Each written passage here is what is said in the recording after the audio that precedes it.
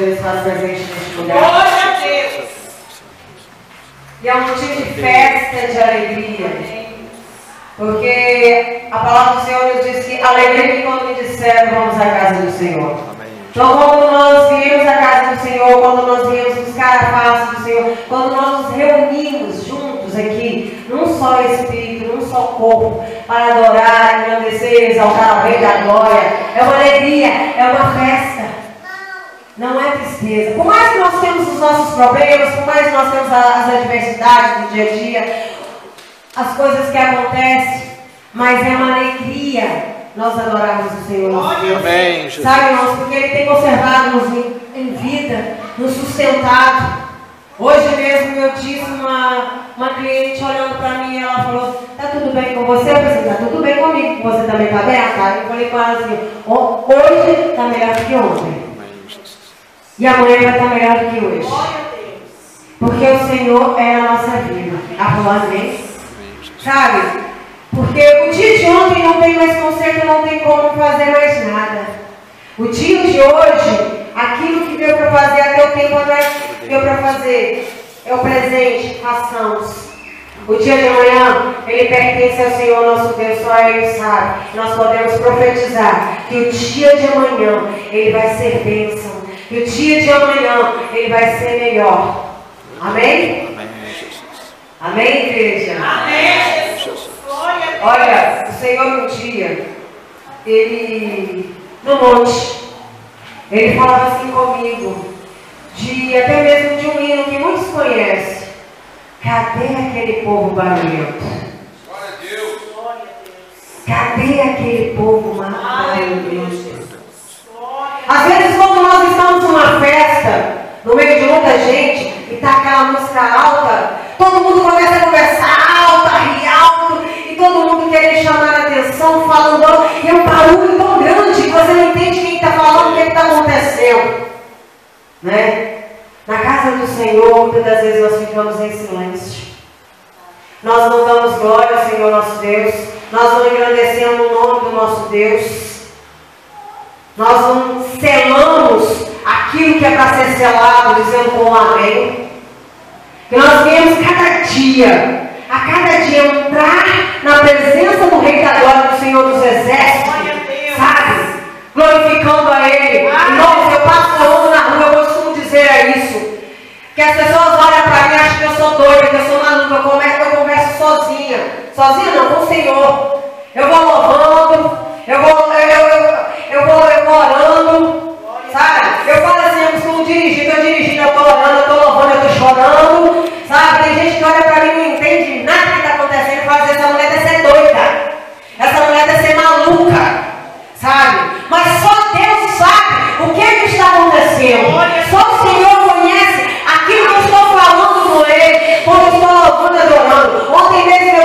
meu cunhado uma coisa, tem hora que dá vontade de você entrar no lugar, sentar, chorar, chorar, chorar e chorar. Sabe, irmãos?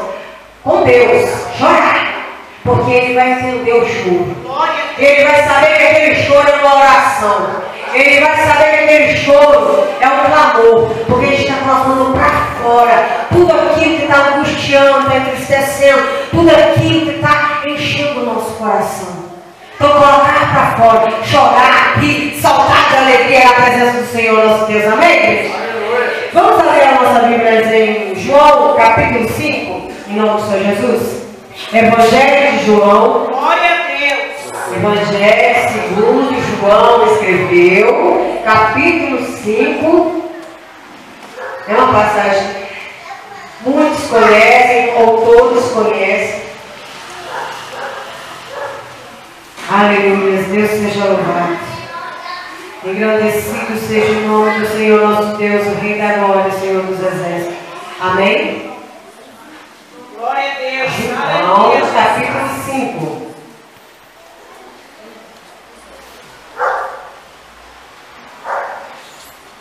Amém?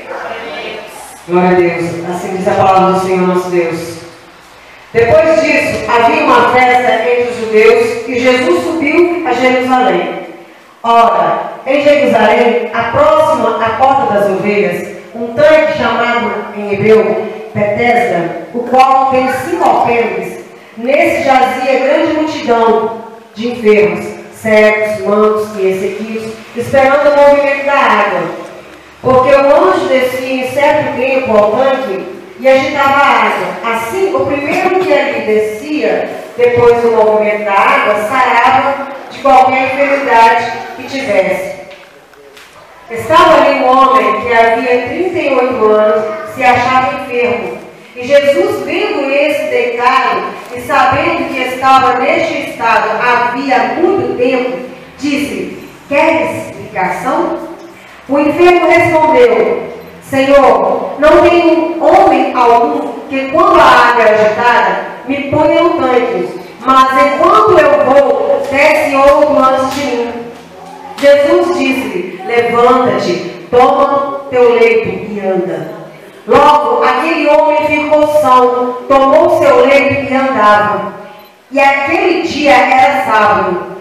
Depois os judeus disseram àquele que tinha sido curado: É sábado, não é lícito levar o leito. Ele respondeu-lhe: Aquele que me curou, ele próprio disse: Toma o teu leito e anda.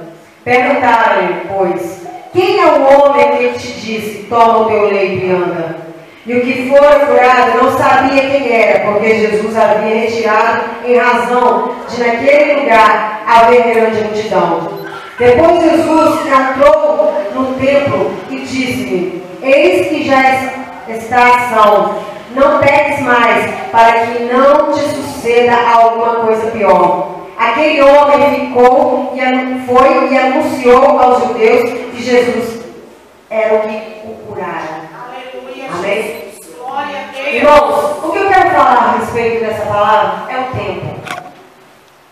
O tempo quantas pessoas não passam por alguma adversidade, alguma enfermidade. O tempo que a pessoa ela aguarda e espera que algo aconteça na vida dela, algo ser transformado, algo ser mudado. Aquele homem, esse homem, havia 38 anos que ele se encontrava daquela forma. E ele estava esperando o quê? Que quando fosse a água agitada pelo anjo, descesse até ali para ser curado. Mas ele se encontrava no leito. E não tinha alguém que se compadecesse, olhasse para ele e falasse, né? Vou ajudar, pegar, levar para ele vir ser curado. Porque aqui a palavra diz que ele disse assim, que o primeiro que chegasse era curado no movimento das águas. Mas Jesus chegou para ele e perguntou: Quer ser curado? Aleluia, Jesus. Quer ser curado? Glória a Deus. E ele deu essa resposta para o Senhor. Que não tinha ninguém que pudesse pegar e levar na hora que era movimentada as águas pelo anjo. Irmãos, 38 anos esperando por uma bênção. Às vezes, nós estamos já tem um tempinho colocar uma semana esperando por uma bênção. A gente esquece de esperar com paciência no Senhor, ficar no Salmo 40. A gente já começa a ficar meio desesperado. A gente começa a ficar ansioso. A gente começa a ficar preocupado que a bênção não está chegando. Agora imagine esse homem 38 anos esperando a bênção na vida dele. Quanto tempo você tem esperado o Senhor mudar algo na tua vida? Quanto tempo você tem esperado Deus trabalhar em algo na tua vida? Uma causa que você tem colocado, talvez uma causa na justiça. Tem pessoas que causam na justiça, ela se arrasta para anos, e ela esperando, e ela aguardando.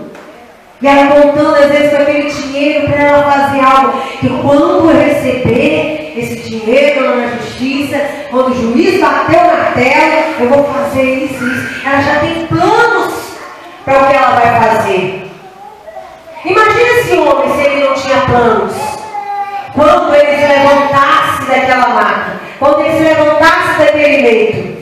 Eu creio que aquele homem imaginava, tinha planos, o que ele poderia fazer, o que ele ia fazer. Ele aguardava, ele esperava no Senhor. Só que o Senhor Jesus, quando disse para ele, quer E depois Jesus disse para ele: Levanta e toma o teu leito e anda. E logo aquele homem ficou são.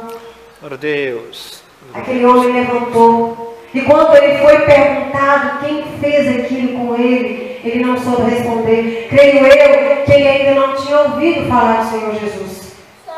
Porque muitos que céu de Jericó, quando estava a caminho, à beira do caminho, ouviu que Jesus ia passar, ele começou a clamar. Então ali eu creio que ele já ouviu falar que Jesus tinha curado, que Jesus tinha libertado, que Jesus tinha expulsado demônios.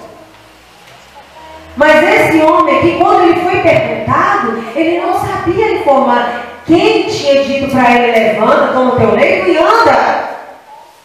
Ele não sabia.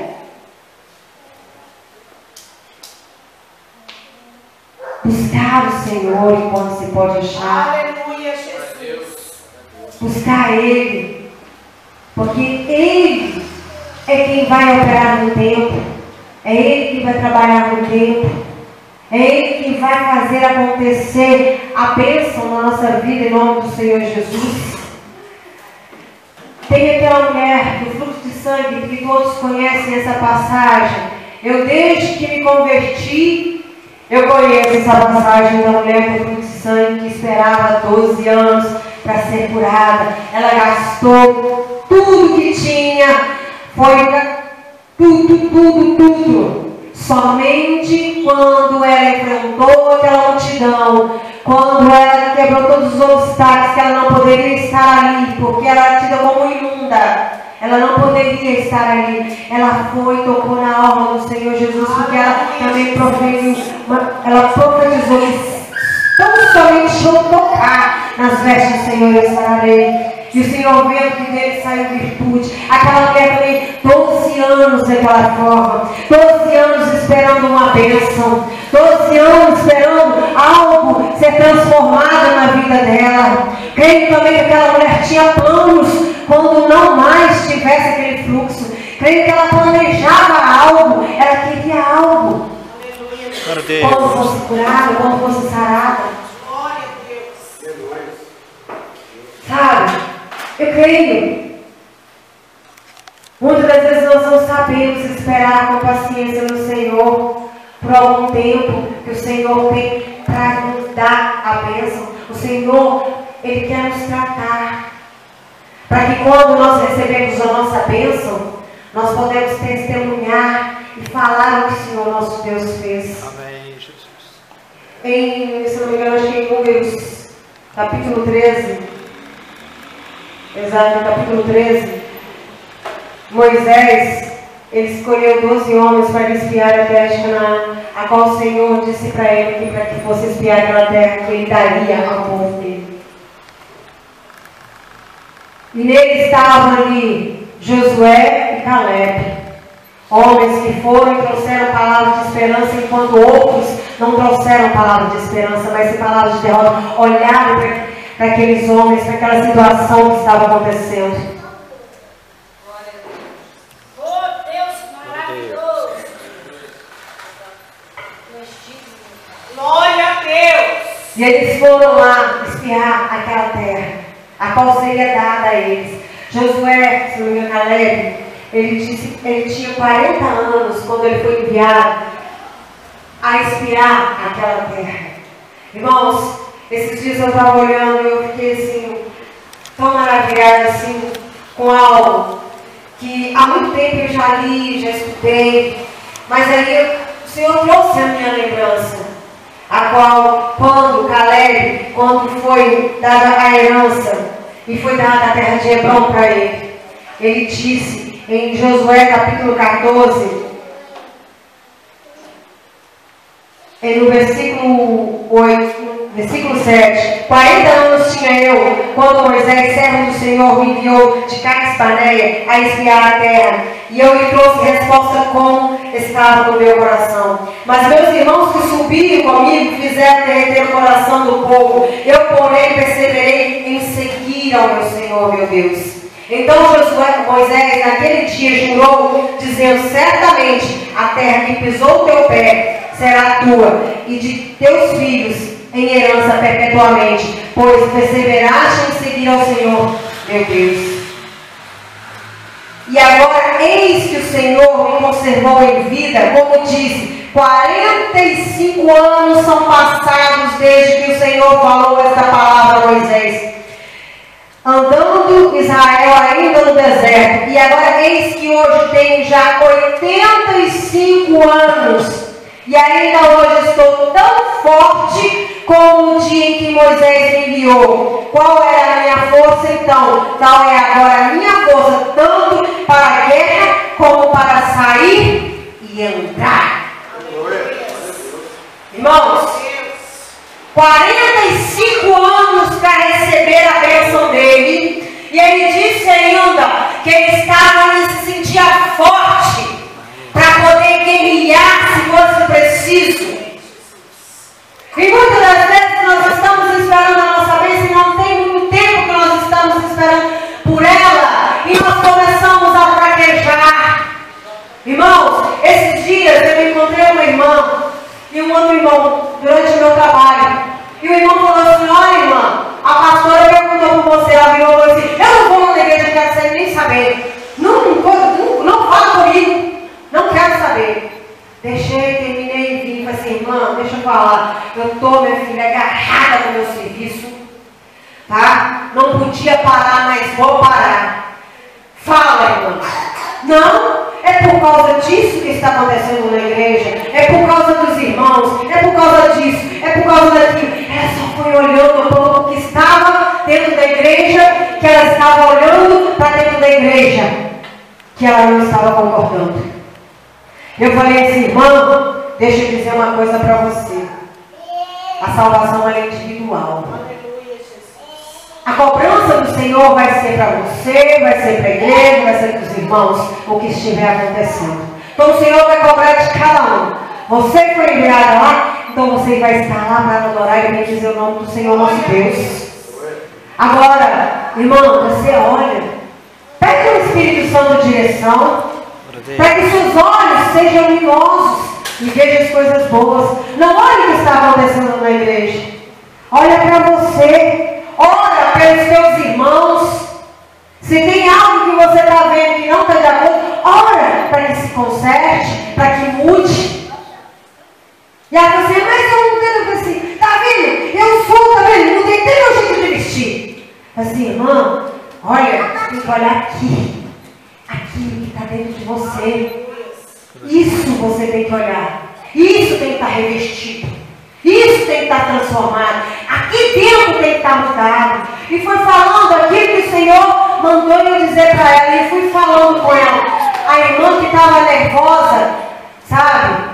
Eu fui perguntei para ela, irmã, você está desistindo da sua bênção? Tô.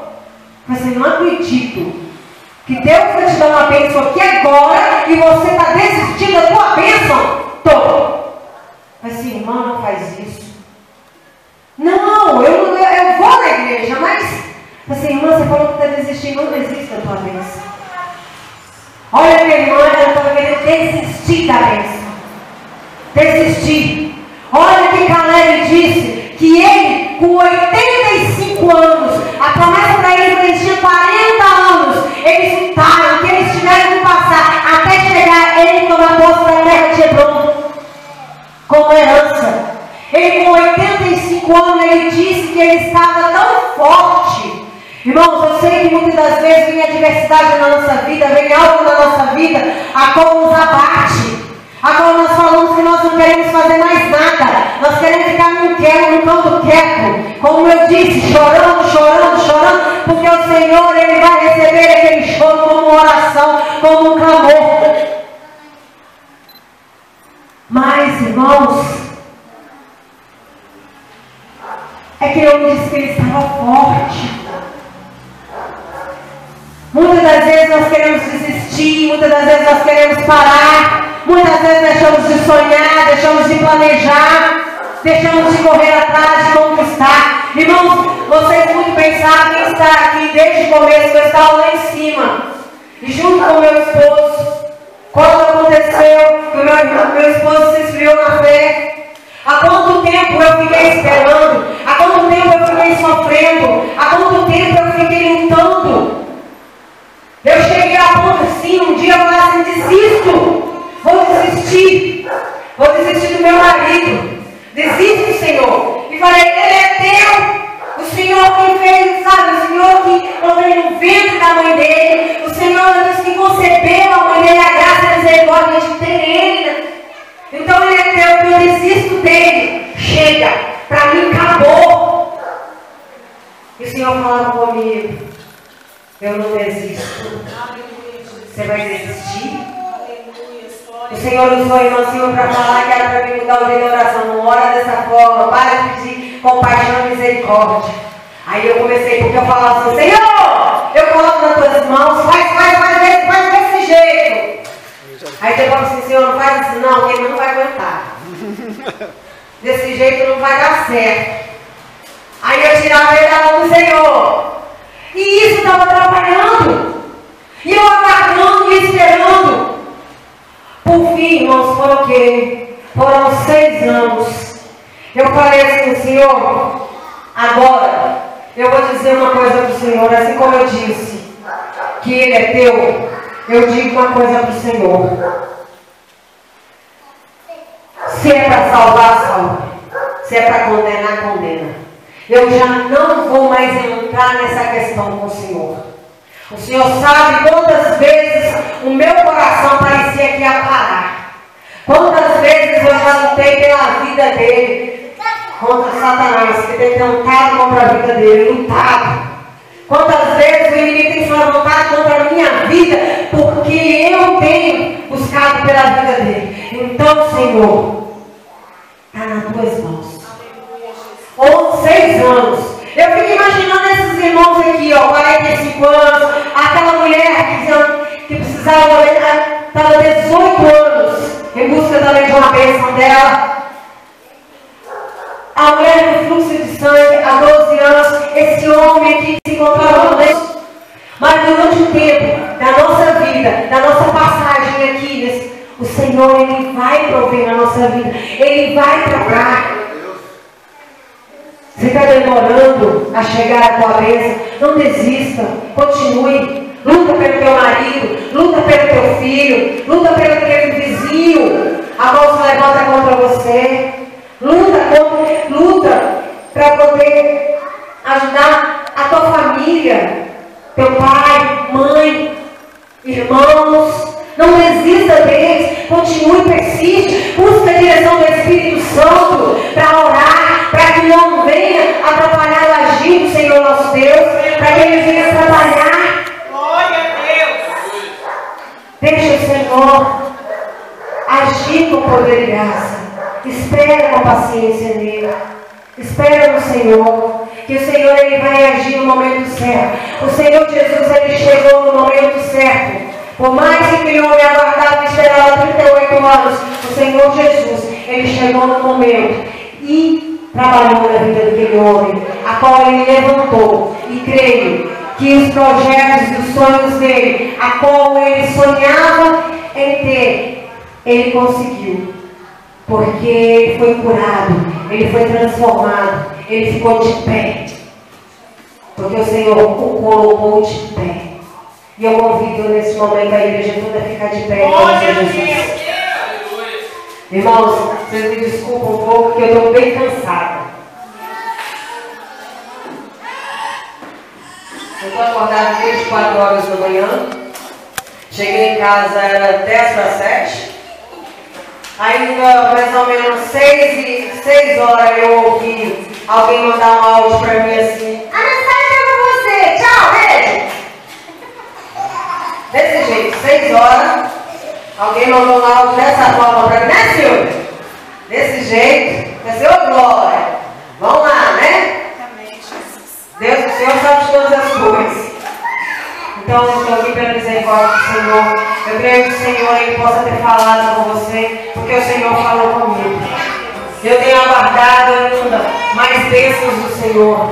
Eu tenho esperado no Senhor, tenho buscado no Senhor mais bênção, mais vitória. Então, que nós venhamos cada dia, cada instante, buscar no Senhor, se refugiar nele, esperar nele, confiar no Senhor nosso Deus. Eu convido você a fechar seus olhos nesse momento. E fala com o Senhor o que, é que você quer que Ele faça na sua vida. Porque eu não sei o que você quer. Mas o Senhor, Ele te conhece, o Senhor, Ele sabe da sua necessidade. Ele sabe o que você precisa. Senhor Deus, eis aí o teu povo, Pai amado, Pai querido. Coloque diante do teu altar, meu Pai, a vida de cada um que aqui está. Sondamente coração. Vai tratando e vai trabalhando, Senhor, meu Deus, meu Pai. Entra, Senhor, meu Deus, meu Pai, na, com a cura. Com esse que precisa de uma cura, Senhor, meu Deus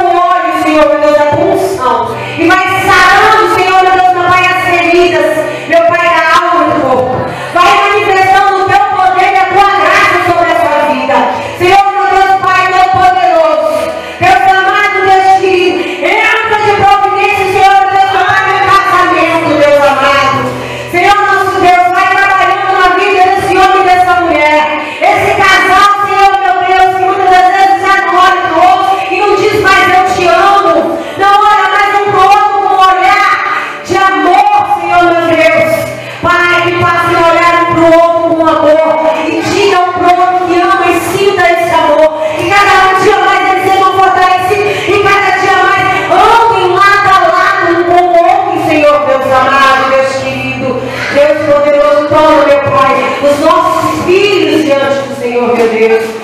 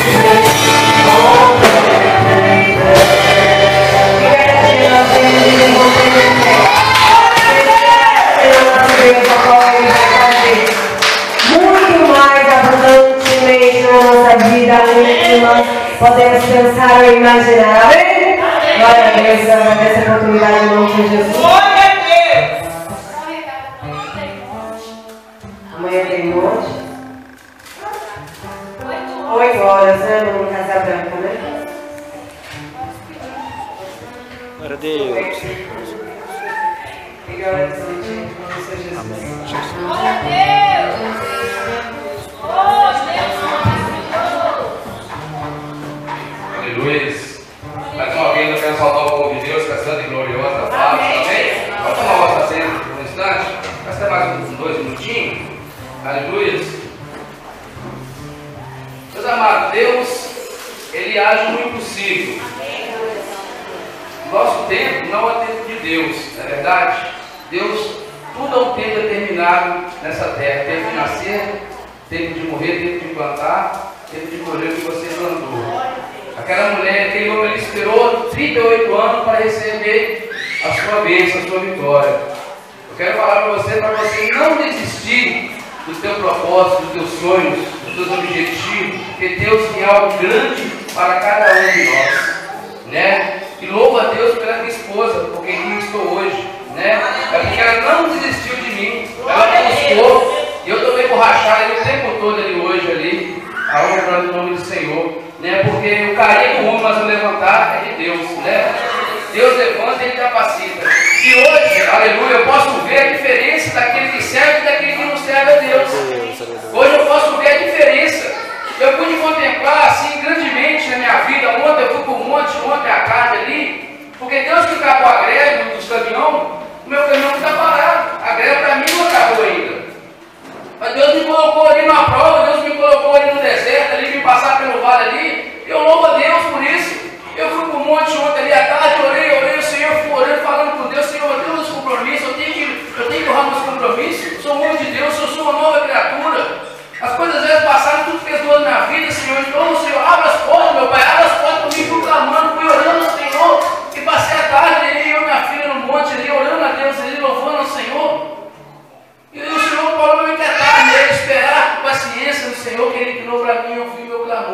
E quando eu cheguei em casa mais tarde, meu amado, para falar para você, mas está aqui minha esposa que deixou que eu fale a verdade não minto. Tinha cinco portas abertas para mim, cinco lugares para mim ir, e só hoje eu tinha que estar em três lugares, mas não só Eu tive que estar em três lugares hoje, não tem como, eu tenho que escolher um. Falei, é, Senhor, mas aí, eu voltei para o monte de novo. Aleluia, de Deus de noite, eu fui para o monte, 10 horas da noite, foi eu para o monte, falei, Senhor, me mostra a porta que eu tenho que entrar. São cinco portas, toma pouco eu vou entrar, não me deixe confundido. E hoje eu fui em um ali, e o Senhor descartei, trabalhei hoje ali, fiz, fiz um carrete ali para a empresa, a Santa Trabalho, eu trabalhei também. E ali eu vi que não é ali, então aquele ali eu já descartei, já conversei com o rapaz lá, é coisa momentânea, é coisa temporária, não, eu quero uma coisa fixa, eu falei com ele, meus compromissos me esperam, irmão, tem que ser recarga no dia. Não adianta eu carregar hoje, amanhã,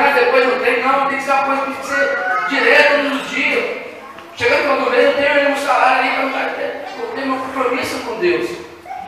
Porque onde